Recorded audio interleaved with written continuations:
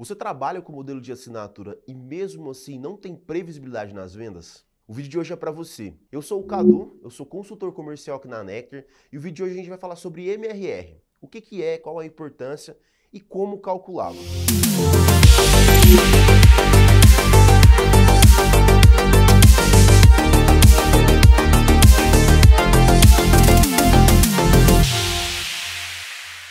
Receita recorrente mensal é o significado do termo MRR e é uma métrica importantíssima para empresas que trabalham com modelo de assinatura. Ela representa a receita previsível e consistente de uma empresa. Basicamente, no cálculo do MRR, a gente vai pegar aquilo que é recorrente e aquilo que é pagamento único. Tudo que é pagamento único a gente exclui e começa a analisar só aquilo que de fato é recorrente. Tá? Obviamente, para que você consiga ter toda essa divisão do que é recorrente e o que é único, você precisa ter uma coleta de dados muito importante. E aí, por isso, vem a questão do CRM. Em casos de empresas que trabalham com só um tipo de plano, é bem mais tranquilo. Você vai multiplicar a quantidade dessa mensalidade vezes a quantidade de usuários para conseguir ter o MRR final. Já em casos de empresas que trabalham com vários planos, a gente vai fazer essa mesma conta para cada plano e depois somar para ter o MRR total. Tá? Voltando na questão do CRM, dentro do NEC a gente consegue ter essa divisão ali entre produtos que são únicos e produtos que são recorrentes. Isso é importante porque eu já vou ter a métrica de uma forma mais segura e consistente de fato, tá?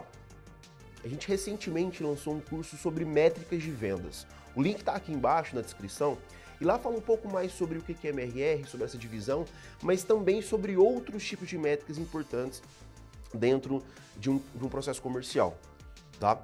Em resumo, a gente falou um pouco do conceito de MRR, falou um pouco sobre o cálculo dessa métrica. E para você que ficou até agora, eu queria dar algumas dicas especiais sobre esse tema.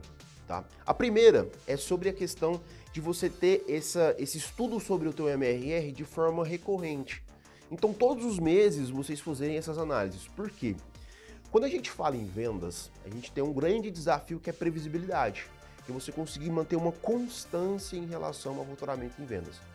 E a gente trata o MRR como uma forma mais simples e talvez a mais segura de você ter previsibilidade. Porque afinal você fechou uma assinatura durante um certo período, seja seis meses, 12 meses, 24 meses, e eu posso contar mais com essa receita.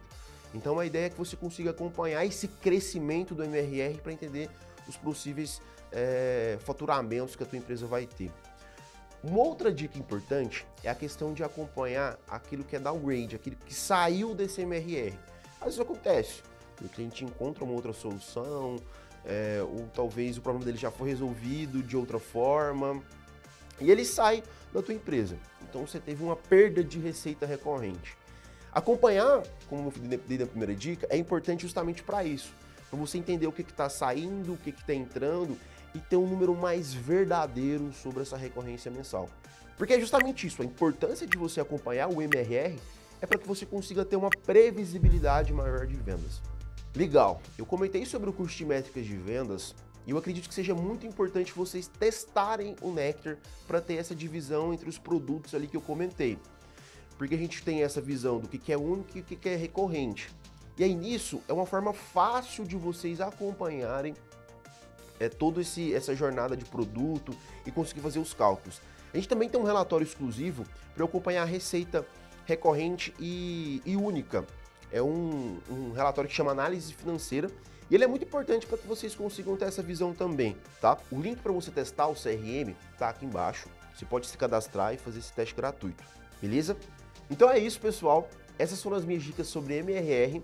Se você tem alguma dúvida, alguma sugestão ou quer ajudar a comunidade Nectar com algum conteúdo legal também, pode deixar aqui embaixo nos comentários e até a próxima.